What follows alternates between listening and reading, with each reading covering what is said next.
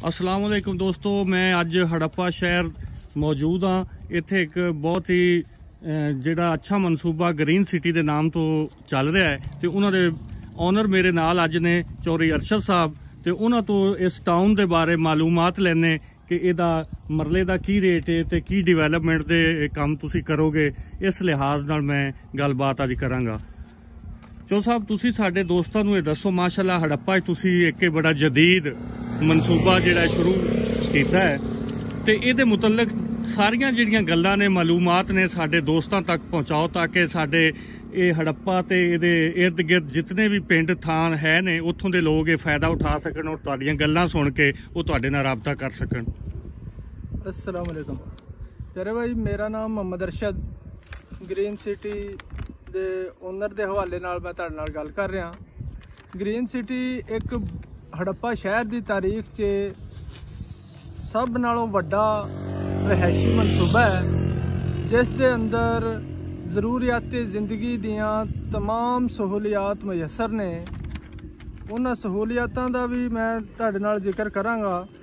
ਸਭ ਤੋਂ ਪਹਿਲੇ ਤੇ ਇਹਦਾ ਮੇਨ ਗੇਟ ਸਿਕਿਉਰਿਟੀ ਦੇ ਹਵਾਲੇ ਨਾਲ ਉਹ ਬਹੁਤ ਹੀ ਵੀਆਈਪੀ ਬਣ ਰਿਹਾ ਹੈ, ਉਹ ਨਕਸ਼ੇ ਤੇ ਵੀ ਅਸੀਂ ਉਹਨੂੰ ਨੁਮਾਇਆ ਕੀਤਾ ਹੈਗਾ। ਸਿਕਿਉਰਿਟੀ ਦੇ ਹਵਾਲੇ ਨਾਲ ਦੇਖਿਆ ਜਾਏ ਤੇ ਮੇਨ ਗੇਟ ਇਹਦਾ ਸਿਕਿਉਰਿਟੀ ਦੇ ਲਿਹਾਜ਼ ਨਾਲ ਸਿਰਫ ਇੱਕ ਹੀ ਗੇਟ ਹੋਏਗਾ, ਜਿਹਦੇ ਤੋਂ ਇਨ ਆਊਟ ਉਹ ਇਸੇ ਗੇਟ ਤੋਂ ਹੋਏਗੀ। ਉਸ ਤੋਂ ਬਾਅਦ ਅਗਰ ਇਹਦੀ ਸਹੂਲੀਅਤ ਨੂੰ ਦੇਖਿਆ ਜਾਏ ਤੇ ਬਿਜਲੀ ਦਾ ਮਨਸੂਬਾ ਹੈਗਾ ਸਭ ਨਾਲੋਂ ਪਹਿਲੇ। ਜ਼ਰੂਰੀਆਤ ਜ਼ਿੰਦਗੀ 'ਚ ਸਾਰ ਨਾਲੋਂ ਅਹਿਮ ਕਰਦਾਰ ਜਿਹੜਾ ਹੈਗਾ ਉਹ ਬਿਜਲੀ ਦਾ ਹੈਗਾ। ਬਿਜਲੀ ਦੇ ਮਨਸੂਬੇ 'ਚ ਵੀ ਸਾਡਾ ਕਾਫੀ ਕੰਮ ਮੁਕੰਮਲ ਹੋ ਗਿਆ ਹੈ ਔਰ ਅਲਹਮਦੁਲਿਲਾ ਟਾਊਨ 'ਚ ਬਿਜਲੀ ਚੱਲ ਰਹੀ ਹੈ। ਉਸ ਤੋਂ ਬਾਅਦ ਅਗਰ ਕਮਰਸ਼ੀਅਲ ਮਾਰਕੀਟ ਨੂੰ ਅਗਰ ਦੇਖਿਆ ਜਾਏ ਇਹਦੇ ਨੂੰ, ਤੇ ਇਹਦੇ ਵਿੱਚ ਤਕਰੀਬਨ ਕਮੋ ਬੇਸ਼ ਇੱਕ ਬਹੁਤ ਵੱਡੀ ਮਾਰਕੀਟ ਹੈ ਜਿੰਦੇ ਵਿੱਚ ਤਕਰੀਬਨ 100 ਦੁਕਾਨਾਂ ਨੇ ਜਿੰਦੇ ਵਿੱਚ ਜ਼ਰੂਰੀਆਤੀ ਜ਼ਿੰਦਗੀ ਦੀ ਹਰ ਚੀਜ਼ ਇੱਥੇ ਦਸਤਿਆਬ ਹੋਏਗੀ ਔਰ ਟਾਊਨ ਦੇ ਰਹਿਣ ਵਾਲਿਆਂ ਨੂੰ ਔਰ ਇਰਦ ਗਿਰਦ ਦੇ ਲੋਕਾਂ ਨੂੰ ਵੀ ਕਾਫੀ ਸਹੂਲਤ ਆਏਗੀ। ਖਰੀਦਦਾਰੀ 'ਚ।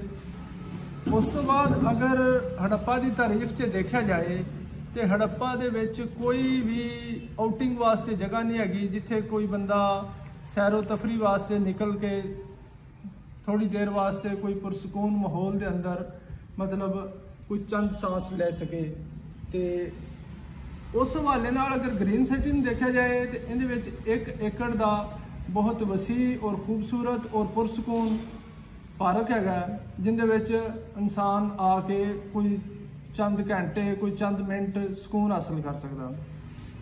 ਉਸ ਤੋਂ ਬਾਅਦ ਇਸ ਦੀ ਬਾਉਂਡਰੀ ਵਾਲ ਹੈਗੀ ਏ, ਜੋ ਮਤਲਬ ਤਕਰੀਬਨ ਇਹ 15 ਏਕੜ ਤੇ ਦਸਤ- ਮਤਲਬ ਇਸ ਦਾ ਰਕਬਾ ਹੈਗਾ ਗ੍ਰੀਨ ਸਿਟੀ ਦਾ। ਔਰ ਗ੍ਰੀਨ ਸਿਟੀ ਨੂੰ 15 ਏਕੜ ਦੀ ਟੋਟਲ ਚਾਰ ਦੀਵਾਰੀ ਤੋਂ- ਦੇ ਨਾਲ ਮਹਿਫੂਜ਼ ਕੀਤਾ ਗਿਆ ਹੈ। ਉਹਦੇ ਵਿੱਚ ਸਿਕਿਉਰਿਟੀ ਵੀਆਈਪੀ ਹੈਗੀ ਮਤਲਬ। ਔਰ ਅਗਰ ਇਸ ਦੀਆਂ ਸੜਕਾਂ ਦੇਖੀਆਂ ਜਾਣ ਤੇ ਉਹ ਸਾਰੀਆਂ ਸੜਕਾਂ ਅਲਹਮਦੁਲਿਲਾ 30 फुट 35 फुट और 50 फुट की हैं जबकि हड़प हड़प्पा को अगर देखा जाए तो उसकी जितनी भी सड़कें हैं तकरीबन 10 से 12 फुट और मतलब बहुत ही छोटी और बहुत मुश्किल से गुजर बसर होती है जहाँ तो अगर इसको ज़रूरियात ज़िंदगी के हिसाब से देखा जाए तो इंसान की सबसे जो मतलब ज़रूरी चीज़ है, उसके सेहत के हवाले से भी। तो इसमें वाटर फिल्ट्रेशन प्लांट का भी हमने एक बंदोबस्त किया है, जिसमें साफ़ पानी आवाम को मिलेगा पीने के लिए। और उसके बाद अगर सीवरेज को देखा जाए तो सीवरेज का निज़ाम भी हड़प्पा में बिल्कुल ही नाकस है। तो ग्रीन सिटी को अगर सीवरेज के हवाले से देखा जाए तो ग्रीन सिटी एक अपना और मुनफर्द सीवरेज सिस्टम है इसका। और इसका हमने जो ड्रेन किया है, वो इधर एक सीवरेज नाला है, जिसको सेम नाला बारशन भी कहते हैं। उसमें हमने इसका ड्रेन किया है, जिसका कोई भी ऐसा खतरा नहीं है कि कल को मुस्तबिल में ये बंद हो जाएगा या ख़राब हो जाएगा तो वो भी कोई मतलब ऐसा डर नहीं है। और उसके हवाले से अगर ग्रीन सिटी के तमाम रोड्स को देखा जाए तो वो भी टोटल कारपेटेड हैं, जिसमें इनकी रोड की चौड़ाई जो है, वो 30 फुट 35 फुट और 50 फुट के तमाम रोड हैं। और उसके बाद अगर सिक्योरिटी के हवाले से इसको देखा जाए तो इसमें लाइफ टाइम सिक्योरिटी है। ये नहीं कि एक, दो माह या दस, बीस दिन या पाँच साल, इसमें life time security town committee provide करेगी। और उसके बाद एक इसमें बहुत ही वसी मस्जिद, तकरीबन जिसका रकबा दो कनाल पर मुश्तमिल है। वो हमने इसका अफ्ताह भी इंशाल्लाह कर दिया है और तमीर भी शुरू है। और एक स्कूल जिसमें इंसान अपने मुस्तकबिल में बच्चों को अच्छी तालीम प्रोवाइड कर सकता है उसका भी इनका हमने किया है बिलकलम नाम से हम एक स्कूल का भी इंशाल्लाह इफ्तिताह करेंगे इस मिलाद में थैंक यू ਚੋ ਸਾਹਿਬ ਸਾਨੂੰ ਇਹ ਦੱਸੋ ਹੜੱਪੇ ਦੇ ਵਿੱਚ ਇਹ ਕਿੱਥੇ ਵਾਕਿਆ ਹੈ ਤੁਹਾਡੀ ਇਹ ਟਾਊਨ ਇਸ ਬਾਰੇ ਜ਼ਰਾ ਐਡਰੈਸ ਦੱਸ ਦਿਓ ਅਗਰ ਇਹਦੀ ਲੋਕੇਸ਼ਨ ਨੂੰ ਦੇਖਿਆ ਜਾਏ ਤੇ ਇਹ ਸ਼ਹਿਰ ਦੇ ਬਿਲਕੁਲ ਹੀ ਨਜ਼ਦੀਕ ਆਰੇਵਾਲਾ ਚੌਕ ਨਜ਼ਦ ਡੀਪੀਐਸ ਡੀਪੀਐਸ ਸਕੂਲ ਸੋਮਵਾਰ ਬਾਜ਼ਾਰ ਵਾਲੀ ਜਗ੍ਹਾ ਤੇ ਇਹ ਵਾਕਿਆ ਹੈਗਾ ਹੈ। ਸੋਮਵਾਰ ਬਾਜ਼ਾਰ ਮਤਲਬ ਜਿਹੜਾ ਗ੍ਰੀਨ ਸਿਟੀ ਹੈਗਾ ਇਹਦੇ ਮਿਰਦਾਦ ਮਾਫੀ ਰੋਡ ਨਜ਼ਦ ਡੀਪੀਐਸ ਸਕੂਲ ਆਰੇਵਾਲਾ ਚੌਕ। ਚੋ ਸਾਹਿਬ, ਸਾਡੇ ਦੋਸਤਾਂ ਨੂੰ ਇਹ ਵੀ ਦੱਸੋ ਵੀ ਇਹਦੀ ਲੀਗਲ ਪੋਜੀਸ਼ਨ ਕੀ ਹੈ? ਇਹਦਾ ਇੰਤਕਾਲ ਦਾ ਕੋਈ ਸਿਲਸਿਲਾ ਹੈ ਜਾਂ ਰਜਿਸਟਰੀ ਦਾ ਜਾਂ ਲੋਕਾਂ ਨੂੰ ਇਹ ਖੌਫ ਹੁੰਦਾ ਹੈ ਕਿ ਕੱਲ ਨੂੰ ਸਾਡੇ ਪੈਸੇ ਡੁੱਬ ਨਾ ਜਾਣ? ਕੋਈ ਐਸੀ ਮਤਲਬ ਇਸ ਬਾਰੇ ਥੋੜਾ ਜਿਹਾ ਕਲੀਅਰ ਦੱਸੋ। ਸਰ, ਇਸ ਮਾਮਲਾ 'ਚ ਕੋਈ ਵੀ ਕਿਸੇ ਕਿਸਮ ਦਾ ਨਾ ਕੋਈ ਡਾਊਟ ਨਾ ਮਸਲਾ। ਅਗਰ ਕੋਈ ਬੰਦਾ ਰਜਿਸਟਰੀ ਲੈਣਾ ਚਾਹੁੰਦਾ ਹੈ ਤੇ ਫੌਰੀ ਰਜਿਸਟਰੀ ਤੇ ਫੌਰੀ ਕਬਜ਼ਾ ਤੇ ਅਸੀਂ ਪਹਿਲੀ ਕਿਸ਼ਤ ਤੇ ਉਹਨਾਂ ਨੂੰ ਕਬਜ਼ਾ ਦੇ ਰਹੇ ਹੈਗੇ ਆ 10% ਐਡਵਾਂਸ ਹੈਗਾ ਇਸ ਦਾ ਜਿੰਦੇ ਵਿੱਚ 10% ਐਡਵਾਂਸ ਦੇ ਕੇ ਆਪਣਾ ਘਰ ਬਣਾ ਸਕਦਾ ਹੈ ਰਹਿਸ਼ ਕਰ ਸਕਦਾ ਹੈ, ਬਿਜਲੀ, ਪਾਣੀ ਉਹਨਾਂ ਨੂੰ ਕੰਪਨੀ ਫ੍ਰੀ ਮੁਹੱਈਆ ਕਰੇਗੀ। ਔਰ ਉਸ ਤੋਂ ਬਾਅਦ ਅਗਰ ਇਹਦੇ ਰੇਟ ਦੇ ਹਵਾਲੇ ਨਾਲ ਆਪਾਂ ਗੱਲ ਕਰੀਏ ਤੇ ਇਹਦੇ ਤਿੰਨ ਬਲਾਕ ਨੇ A, B ਔਰ C A ਬਲਾਕ ਦਾ ਰੇਟ ਸਾਡਾ ਫਿਲਹਾਲ 4 ਲੱਖ ਚੱਲ ਰਿਹਾ ਹੈਗਾ। ਔਰ ਆਉਣ ਵਾਲੇ ਵਕਤ 'ਚ ਇਹ ਕਾਫੀ ਡਿਵੈਲਪ ਹੋਏਗਾ ਇਨਸ਼ਾਅੱਲਾ। B ਬਲਾਕ ਦਾ ਜਿਹੜਾ ਰੇਟ ਹੈਗਾ, ਉਹ 3.5 ਲੱਖ ਚੱਲ ਰਿਹਾ ਹੈ ਔਰ C ਬਲਾਕ ਦਾ ਰੇਟ 3 ਲੱਖ ਚੱਲ ਰਿਹਾ ਹੈ। 10% ਤੇ ਕੀ ਨਾ ਬੁਕਿੰਗ ਅਸੀਂ ਕਰ ਰਹੇ ਹਾਂ ਫਿਲਹਾਲ ਅਸੀਂ। ਔਰ 10% ਅਦਾ ਕਰਨ ਤੋਂ ਬਾਅਦ ਫੌਰੀ ਰਜਿਸਟਰੀ ਮਤਲਬ ਜਿਸ ਟਾਈਮ ਉਹਨਾਂ ਦੀ ਪੇਮੈਂਟ ਪੂਰੀ ਹੋ ਜਾਏਗੀ ਤੇ ਅਸੀਂ ਰਜਿਸਟਰੀ ਕਰਾਉਣਗੇ ਤੇ ਰਜਿਸਟਰੀ ਕਰ ਦਿਆਂਗੇ। ਇੰਤਕਾਲ ਅਗਰ ਲੈਣਾ ਚਾਹੇ ਇੰਤਕਾਲ ਦੇ ਦਿਆਂਗੇ। ਚੋ ਸਾਹਿਬ ਇਹ ਤਾਂ ਤੁਸੀਂ ਕਿਸ਼ਤਾਂ ਦੇ ਹਵਾਲੇ ਨਾਲ ਗੱਲ ਕੀਤੀ ਵੀ ਕੋਈ ਦੋਸਤ ਕਿਸ਼ਤਾਂ ਤੇ ਲੈਣਾ ਚਾਹੁੰਦਾ ਤੇ ਇਹ ਤਰੀਕੇਕਾਰ ਹੈ ਅਗਰ ਕੋਈ ਨਕਦ ਲੈ ਲੈਂਦਾ ਤੇ ਉਹਦੇ ਵਿੱਚ ਆਇਆ ਕਿ ਤੁਸੀਂ ਕੋਈ ਰਿਆਇਤ ਦਿੰਦੇ ਹੋ ਉਹਨਾਂ ਨੂੰ? ਬਿਲਕੁਲ ਜੀ ਅਲਹਮਦੁਲਿਲਾ ਅਸੀਂ ਆਪਣੇ ਕਸਟਮਰ ਨੂੰ ਨਾਲ ਪੂਰਾ ਤਾਵਨ ਕਰ ਰਹੇ ਹਾਂ ਮੁਕੰਮਲ ਰਾਇਤ ਦੇ ਰਹੇ ਹਾਂ ਜਿੰਨੀ ਕੁ ਅਸੀਂ ਦੇ ਸਕਦੇ ਹਾਂ। ਉਹਦੇ ਵਿੱਚ ਇਹ ਵੇ ਵੀ ਅਗਰ ਕੋਈ ਬੰਦਾ ਕਿਸ਼ਤਾਂ ਤੇ ਲੈਂਦਾ ਹੈ ਤੇ ਉਹਦੀਆਂ 50 ਮਹੀਨਿਆਂ ਦੀਆਂ ਕਿਸ਼ਤਾਂ ਨੇ ਔਰ ਅਗਰ ਕੋਈ ਨੈਟ ਰੇਟ ਤੇ ਮਤਲਬ ਲੈਂਦਾ ਹੈ ਤੇ 10 ਤੋਂ 15% ਅਸੀਂ ਉਹਨੂੰ ਡਿਸਕਾਊਂਟ ਦੇ ਰਹੇ ਹਾਂ। ਮਤਲਬ 4 ਲੱਖ ਦਾ ਮਰਲਾ ਹੈ ਤੇ ਫਿਰ ਕਿੰਨੇ ਦਾ ਮਰਲਾ ਪੈ ਜਾਏਗਾ? ਤਕਰੀਬਨ 3 ਲੱਖ 60 ਹਜ਼ਾਰ ਤੋਂ ਲੈ ਕੇ 3.5 ਦੇ ਰਾਉਂਡ ਬਾਉਂਡ ਅਸੀਂ 10 ਤੋਂ 15% ਡਿਸਕਾਊਂਟ ਦੇ ਰਹੇ ਹਾਂ। ਅੱਛਾ ਜੀ। ਹਾਂਜੀ। ਸ਼ੁਕਰੀਆ। ਚੋ ਸਾਹਿਬ, ਸਾਨੂੰ ਇਸ ਕਲੋਨੀ ਦੀ ਕੋਈ ਹੋਰ ਨੁਮਾਇਆ ਕੋਈ ਐਸੀ ਖਾਸੀਅਤ ਹੈ ਤੇ ਉਹ ਵੀ ਦੱਸ ਦਿਓ ਸਾਡੇ ਦੋਸਤਾਂ ਨੂੰ। ਇਹਦੀ ਖਸੂਸੀਅਤ ਸਾਰ ਨਾਲ ਵੱਡੀ ਜੋ ਅੱਜ ਕੱਲ ਬਹੁਤ ਜ਼ਿਆਦਾ ਮਸਾਇਲ ਹੈਗੇ ਨੇ, ਉਹਨਾਂ ਵਿੱਚ ਇੱਕ ਇਹ ਵੀ ਹੈਗਾ ਕਿ ਇੱਕ ਤੇ ਇਸ ਕਲੋਨੀ ਦਾ ਮਾਹੌਲ ਬਹੁਤ ਸਾਫ਼ ਸੁਥਰਾ ਹੋਏਗਾ ਔਰ ਟਾਊਨ ਕਮੇਟੀ ਦੀ ਇਹ ਜ਼ਿੰਮੇਵਾਰੀ ਹੋਏਗੀ, ਉਹਨੂੰ ਮੇਨਟੇਨੈਂਸ ਦੇ ਹਵਾਲੇ ਨਾਲ। ਔਰ ਉਸ ਤੋਂ ਬਾਅਦ ਜਿਹੜਾ ਘਰ ਅੱਜ ਕੱਲ ਦੇਖੋ, ਪਿੰਡਾਂ 'ਚ ਦੇਖ ਲਓ, ਬੇਸ਼ੱਕ ਸ਼ਹਿਰਾਂ 'ਚ ਦੇਖ ਲਓ ਉਹ ਇਸੇ ਤਰ੍ਹਾਂ ਹੈ ਵੀ ਇੱਕ ਬੰਦਾ 10 ਫੁੱਟ ਭਰਤੀ ਪਾ ਰਿਹਾ ਹੈ, ਇੱਕ ਬੰਦਾ 5 ਫੁੱਟ ਪਾ ਰਿਹਾ ਹੈ, ਇੱਕ ਬੰਦਾ ਕੋਈ ਮਤਲਬ ਪੁੱਛਣ ਦੱਸਣ ਵਾਲਾ ਨਹੀਂ ਉਹਨੂੰ। ਔਰ ਇਸ ਟਾਊਨ 'ਚ ਅਸੀਂ ਇਹ ਨਿਜ਼ਾਮ ਬਣਾਇਆ ਹੈਗਾ ਵੀ ਕੋਈ ਬੰਦਾ ਵੀ ਰੋਡ ਤੋਂ ਸਿਰਫ 1 ਫੁੱਟ ਹੀ ਭਰਤੀ ਪਾ ਸਕੇਗਾ। ਵੀ ਟਾਊਨ ਦਾ ਲੈਵਲ ਖਰਾਬ ਨਾ ਹੋਵੇ ਕੱਲ ਕੇ ਕੱਲ ਆਉਣ ਵਾਲੇ ਵਕਤ 'ਚ ਇੱਕ ਦੂਸਰੇ ਨੂੰ ਗਵਾਂਢੀ ਨੂੰ ਮਤਲਬ ਪਰੇਸ਼ਾਨੀ ਨਾ ਬਣੇ ਵੀ ਮੈਂ, ਮੇਰਾ ਮਕਾਨ ਨੀਵਾਂ ਹੋ ਗਿਆ, ਉਹਦੇ ਅੰਦਰ ਪਾਣੀ ਚਲਾ ਗਿਆ। ਜਾਂ ਦੂਸਰੇ ਦਾ ਉੱਚਾ ਹੋ ਗਿਆ ਉਹਦਾ ਦੂਸਰੇ ਵੱਲ ਚਲਾ ਗਿਆ ਇਹ ਨਿਜ਼ਾਮ ਮਤਲਬ ਲੈਵਲ ਇੱਕ ਹੋਏਗਾ ਇਹਦਾ ਔਰ ਉਸੇ ਲੈਵਲ ਦੇ ਮੁਤਾਬਕ ਹੀ तमाम ਟਾਊਨ ਉਹਦੀ ਮਤਲਬ ਜ਼ਿੰਮੇਵਾਰੀ ਹੋਏਗੀ ਔਰ ਇਸ ਤੇ ਅਮਲ ਪੈਰਾ ਕਰੇਗਾ ਔਰ ਮਾਲ ਜਾਨਵਰ ਰੱਖਣ ਦੀ ਕਿਸੇ ਬੰਦੇ ਨੂੰ ਇਹਦੇ ਵਿੱਚ ਇਜਾਜ਼ਤ ਨਹੀਂ ਹੋਏਗੀ ਕਿਉਂਕਿ ਟਾਊਨ ਦਾ ਨਿਜ਼ਾਮ ਉਹਦੇ ਨਾਲ ਡਿਸਟਰਬ ਨਾ ਹੋਵੇ ਮੈਂ ਜੀ ਇਸ ਵਕਤ ਗ੍ਰੀਨ ਸਿਟੀ ਦੇ ਵਿੱਚ ਮੌਜੂਦ ਹਾਂ ਤੇ ਇਸ ਗ੍ਰੀਨ ਸਿਟੀ ਦੇ ਜਿਹੜੇ ਡਿਵੈਲਪਰ ਨੇ ਜਾਂ ਜਿਹਨੂੰ ਅਸੀਂ ਸਾਦਾ ਜ਼ਬਾਨ 'ਚ ਕਹਿੰਦੇ ਠੇਕੇਦਾਰ, ਸਾਡੇ ਕੋਲ ਉਹ ਮੌਜੂਦ ਨੇ, ਉਹਨਾਂ ਤੋਂ ਵੀ ਸਵਾਲ ਪੁੱਛ ਲੈਣੇ ਤੇ ਇਹ ਇਹਨਾਂ ਦੀ ਬਾਕੀ ਦੇ ਸੇਲ ਟੀਮ ਦੇ ਮੈਂਬਰਾਨ ਨੇ, ਸਾਰੇ ਸਾਥੀ ਮੌਜੂਦ ਨੇ, ਤੇ ਮੈਂ ਮੌਕੇ ਦਾ ਫਾਇਦਾ ਉਠਾ ਕੇ ਠੇਕੇਦਾਰ ਸਾਹਿਬ ਤੋਂ ਪੁੱਛਦਾ। ਤੁਸੀਂ ਜੀ ਇਹ ਦੱਸੋ ਕਿ ਇਹ ਡਿਵੈਲਪਮੈਂਟ ਦੇ ਕੰਮ ਤੁਸੀਂ, ਮਾਸ਼ਾਅੱਲਾ ਪੱਥਰ ਵੀ ਪਾਇਆ ਤੇ ਬੜਾ ਤੇਜ਼ੀ ਨਾਲ ਕੰਮ ਜਾਰੀ ਹੈ, ਇਹਦੇ ਬਾਰੇ ਸਾਡੇ ਦੋਸਤਾਂ ਨੂੰ, ਸਾਡੇ ਸੁਣਨ ਵਾਲਿਆਂ ਨੂੰ ਦੱਸੋ। ਅਸਲਾਮ ਅਲੈਕੁਮ ਜੀ।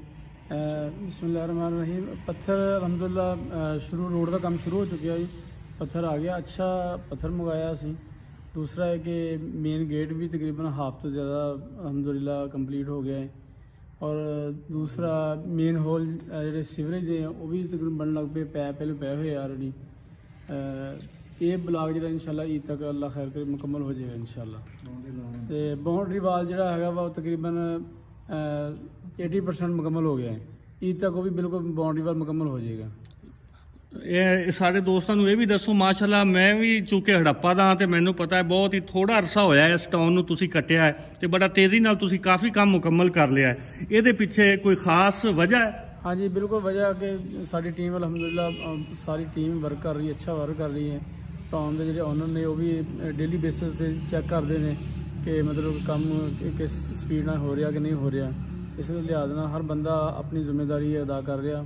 ਇਨਸ਼ਾਅੱਲਾ ਜਲਦੀ ਜਲਦੀ ਇਹ ਕੰਮ ਕੰਪਲੀਟ ਹੋ ਜਾਏਗਾ। ਮੈਂ ਤੁਹਾਡੇ ਕੋਲ ਠੇਕੇਦਾਰ ਸਾਹਿਬ ਇਹ ਵੀ ਚਾਹਾਂਗਾ ਕਿ ਤੁਸੀਂ ਮੈਨੂੰ ਥੋੜਾ ਜਿਹਾ ਇਸ ਟਾਊਨ ਦੀ ਸੈਰ ਕਰਾ ਦਿਓ ਤਾਂ ਕਿ ਮੈਨੂੰ ਨਾਲ ਨਾਲ ਸਾਡੇ ਦੋਸਤ ਇਹ ਵੇਖ ਵੀ ਲੈਣ। ਹਾਂਜੀ ਬਿਲਕੁਲ ਆਓ ਦਿਖਾਓ ਇਹਨਾਂ ਨੂੰ ਕਿ ਆ ਮੇਨ ਇਹ ਜੀ ਮੇਨ ਗੇਟ ਜਿਹੜਾ ਹੈ ਮਿਸਤਰੀ ਸਾਹਿਬ ਮੇਨ ਗੇਟ ਦਾ ਕੰਮ ਕਰ ਰਹੇ ਨੇ ਜੀ। ਇਹ ਮੇਨ ਐਂਟਰੈਂਸ ਹੋਏਗੀ ਤੇ ਬੜਾ ਤੇਜ਼ੀ ਨਾਲ ਇਹ ਪੱਥਰ ਵਗੈਰਾ ਦੂਰ ਦੂਰ ਤੱਕ ਤੁਸੀਂ ਇਹ ਦੇਖ ਰਹੇ ਹੋਗੇ। ਮੇਰੇ ਨਾਲ ਇਹਨਾਂ ਦੇ ਜੀ ਸੇਲ ਦੇ ਮੈਨੇਜਰ ਵੀ ਮੌਜੂਦ ਨੇ, ਰਾਣਾ ਲੁਕਮਾਨ ਸਾਹਿਬ, ਉਹਨਾਂ ਤੋਂ ਵੀ ਕੁਝ ਮਾਲੂਮਾਤ ਲਵਾਂਗੇ। ਲੇਕਿਨ ਮੈਂ ਚਾਹਨਾ ਕਿ ਤੁਹਾਨੂੰ ਇਸ ਟਾਊਨ ਦੀ ਥੋੜੀ ਜੀ ਸੈਰ ਕਰਾ ਦੇਵਾਂ। ਇਹਦੇ ਤਰੱਕਿਆਤੀ ਮਨਸੂਬੇ ਬੜੇ ਤੇਜ਼ੀ ਨਾਲ ਜਾਰੀ ਨੇ। ਤੇ ਮੈਂ ਕੋਸ਼ਿਸ਼ ਕਰ ਰਿਹਾ ਕਿ ਇਹਦੇ, ਇਹ ਰੋਡ ਮਾਸ਼ਾਅੱਲਾ ਬੜੇ ਤੁਸੀਂ ਦੇਖ ਰਹੇ ਹੋਗੇ, ਇਹ ਪੱਥਰ ਮੈਟਲ ਰੋਡ ਇਹ ਬਣਾਉਣੇ ਚਾਹ ਰਹੇ ਨੇ। ਤੇ ਕਾਫੀ ਖੁੱਲੇ, ਮਾਸ਼ਾਅੱਲਾ 35 40 ਫੁੱਟ 50 ਫੁੱਟ ਤੱਕ ਇਹ ਰੋਡ ਨੇ। ਤੇ ਮਾਸ਼ਾਅੱਲਾ ਬਹੁਤ ਹੀ ਹੜੱਪੇ ਦੀ ਤਾਰੀਖ ਦਾ ਇਹ ਨਹਾਇਤ ਹੀ ਸ਼ਾਨਦਾਰ ਮਨਸੂਬਾ ਹੈ। ਕੋਈ ਐਸੀ ਟਾਊਨ ਪਹਿਲੇ ਇਸ ਤਰ੍ਹਾਂ ਦੇ ਕੋਈ ਡਿਵੈਲਪ ਨਹੀਂ ਹੈ। ਬੜੇ ਮਸਾਇਲ ਨੇ ਹੜੱਪਾ ਦੇ ਵਿੱਚ, ਸੀਵਰੇਜ ਦੇ ਗਲੀਆਂ ਤੰਗ ਨੇ। ਲੇਕਿਨ ਇਹ ਵਾਕਿਆ ਹੀ ਅੱਛੇ ਸਟੈਂਡਰਡ ਵਾਲਾ ਟਾਊਨ ਹੈ। ਜਿਹੜੇ ਵੀ ਮੇਰੇ ਦੋਸਤ ਮੇਰੇ ਚੈਨਲ ਨੂੰ ਵੇਖਦੇ ਨੇ ਔਰ ਦੋਸਤਾਂ ਤੱਕ ਇਹ ਮਾਲੂਮਾਤ ਮੈਂ ਪਹੁੰਚਾ ਰਿਹਾ ਤਾਂ ਕਿ ਉਹ ਫਾਇਦਾ ਉਠਾਣ ਇਸ ਸਹੂਲਤ ਤੋਂ। ਮੈਂ ਜੀ ਇਸ ਵਕਤ ਇਹ ਬਲਾਕ ਦੇ ਵਿੱਚ ਪਹਿਲਾ ਜਿਹੜਾ ਇਹਨਾਂ ਦਾ ਇਹ ਬਲਾਕ ਹੈ, ਉਹਦੀ ਇਹ ਸੈ- ਸੈਰ ਕਰਵਾ ਰਿਹਾ। ਤੁਹਾਨੂੰ ਤੇ ਕਾਫੀ ਤੇਜ਼ੀ ਨਾਲ ਇਹ ਘਰ ਵਗੈਰਾ, ਦੋਸਤਾਂ ਨੇ ਕੁਝ ਸ਼ੁਰੂ ਕੀਤੇ ਹੋਏ ਨੇ। ਤੇ ਬਹੁਤ ਹੀ ਬਿਲਕੁਲ ਹੀ ਥੋੜਾ ਜਿਹਾ ਅਰਸਾ ਹੋਇਆ ਹੈ ਤੇ ਮਾਸ਼ਾਅੱਲਾ ਇਹਨਾਂ ਨੇ ਸੜਕਾਂ ਦਾ ਉਹ ਸਾਰਾ ਪੱਥਰ ਵਗੈਰਾ ਇਹ ਸਾਰਾ ਮੰਗਵਾ ਕੇ ਤੇ ਬੜਾ ਤੇਜ਼ੀ ਨਾਲ, ਕਿਉਂਕਿ 15 ਏਕੜ ਤੇ ਇਹ ਟਾਊਨ ਉਹਨਾਂ ਦੇ ਪ੍ਰੋਪਰਾਈਟਰ ਦੱਸ ਰਹੇ ਸਨ, ਹੈ ਤੇ ਕਾਫੀ ਖੁੱਲਾ ਇਹ ਟਾਊਨ ਹੈ ਜੀ। ਤੁਸੀਂ ਵੇਖ ਸਕਦੇ ਹੋ। ਮਾਸ਼ਾਅੱਲਾ, ਰਾਣਾ ਲੁਕਮਾਨ ਸਾਹਿਬ ਮੇਰੇ ਨਾਲ ਨੇ, ਉਹ ਮੈਨੂੰ ਇਹ ਵਿਜ਼ਿਟ ਕਰਵਾ ਰਹੇ ਨੇ। ਇਹ ਇਹ ਬਲਾਕ ਦੇ, ਇਹ ਪਲਾਟ ਵਗੈਰਾ ਨੇ। ਫਿਰ ਐਂਡ ਤੇ ਇਹ ਵੀ ਪੁੱਛਾਂਗੇ ਕਿ ਕਿੰਨੇ ਪਲਾਟ ਇਹਨਾਂ ਕੋਲ ਅਵੇਲੇਬਲ ਨੇ। ਇਹ ਜੀ ਦੋਸਤੋ, ਜਿਹੜਾ ਹੈ ਨਾ, ਇਹ ਬਲਾਕ ਤੋਂ ਬਾਅਦ ਅਸੀਂ ਇਹ ਬੀ ਬਲਾਕ ਚ ਆ ਗਏ ਆ ਇਹ ਵੀ ਕਾਫੀ ਮਤਲਬ ਵਸੀ ਰਕਬੇ ਤੇ ਮੁਸ਼ਤਮਿਲ ਹੈ ਜੀ। ਇਹ ਦੇਖੋ ਬਾਉਂਡਰੀ ਵਾਲ ਸਾਹਮਣੇ ਅਗਰ ਨਜ਼ਰ ਆ ਰਹੀ ਹੋਵੇ ਤੇ ਇਹ ਬਿਲਕੁਲ ਜਿਹੜਾ ਹੈ ਨਾ ਹੜੱਪੇ ਦੇ ਬਿਲਕੁਲ ਨਾਲ। ਬੀ ਬਲਾਕ ਟੱਚ ਹੈ ਬੀ ਕਲਾ ਅਮ ਬੀ ਬਲਾਕ ਜਿਹੜਾ ਟੱਚ ਹੈ।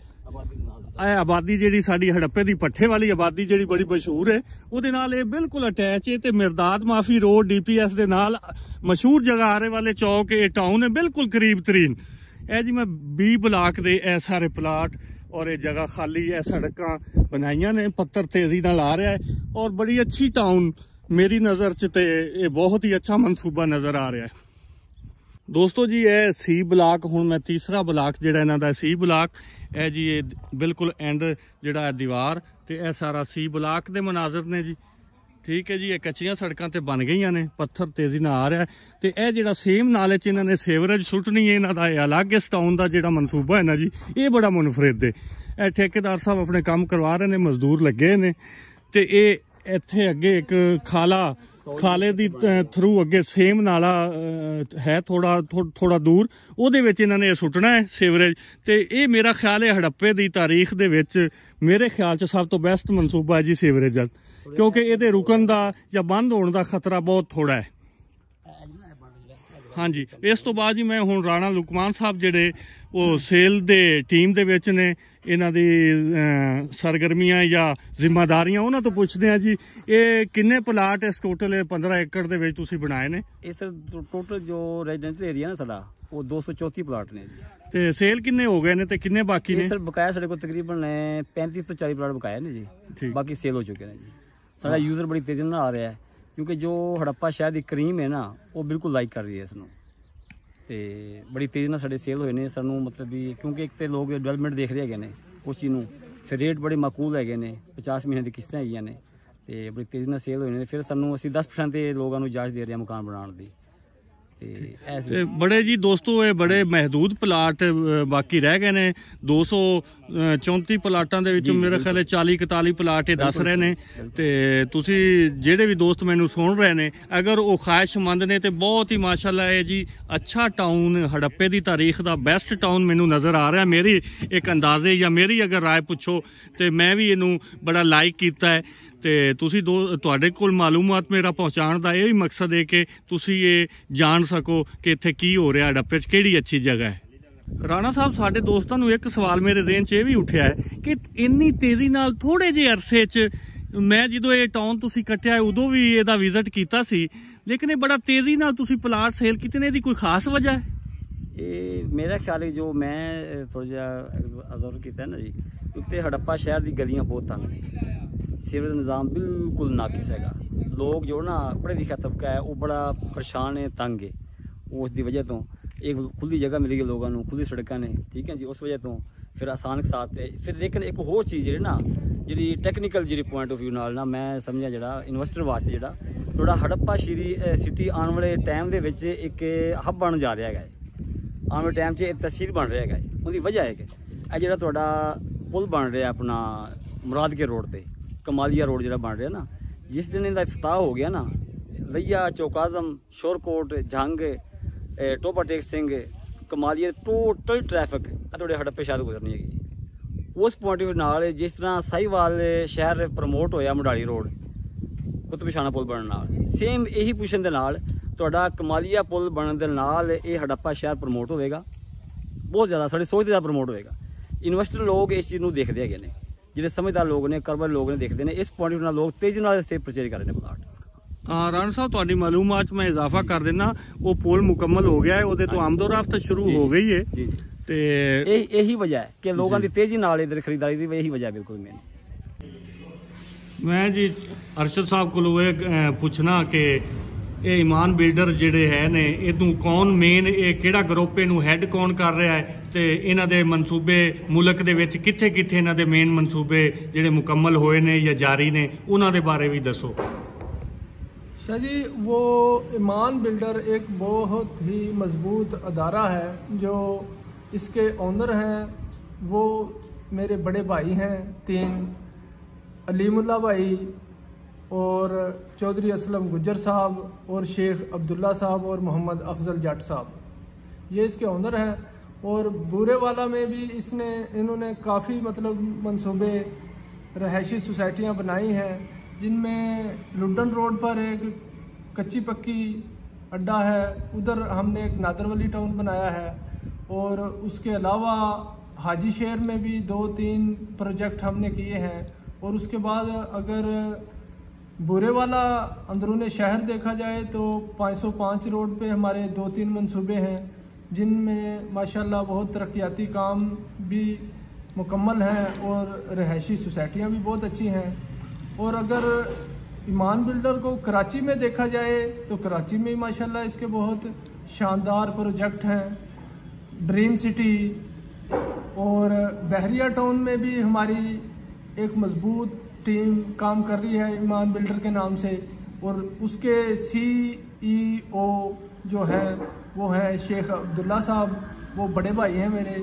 तो वो बहरिया टाउन कराची में कर रहे हैं और एक हमारा चैनल भी हमने बनाया हुआ है, amazing real estate Bahria town Karachi के नाम से है। तो अगर आप इसको नेट पर भी सर्च करें तो एक बहुत ही प्यारी और वाज टीम और वाज शानदार प्रोजेक्ट जिसका क्रेडिट ईमान बिल्डर को जाता है, वो आपको मिलेगी।